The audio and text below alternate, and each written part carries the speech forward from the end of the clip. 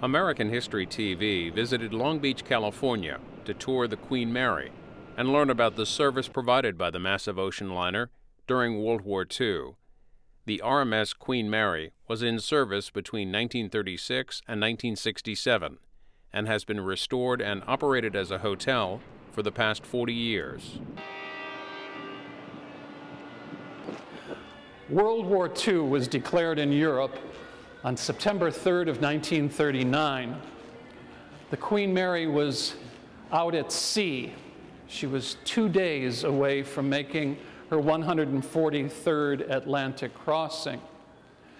In the early morning hours of that day, the course of the ship was changed not only for the rest of that voyage, but for her entire sea life over the next eight years.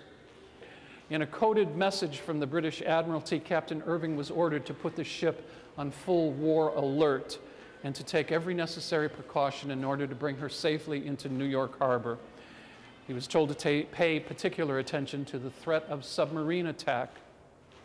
Immediately, all 2,000 windows and portals were blacked out. All of her exterior lights were extinguished, and additional lookouts were posted and the helmsman was ordered to begin steering a zigzag course in order to make her as difficult to target as possible. There were 2,332 passengers aboard on that last civilian crossing, and most of them were Americans. The two most famous people aboard on that last civilian crossing were Bob Hope and his wife Dolores.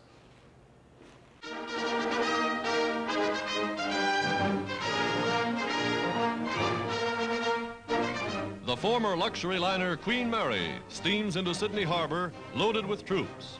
Once the most palatial ship afloat, the Queen Mary has a thrilling war record. Whenever huge reinforcements are needed, the Queen Mary does the job.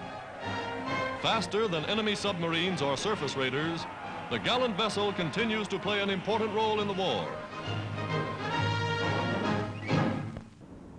The Queen Mary would make 72 wartime voyages transporting 800,000 troops between 1940 and 1946. She began in 1940 with trips of 5,000 soldiers. By 1942, she had graduated to trips with 15,000 soldiers.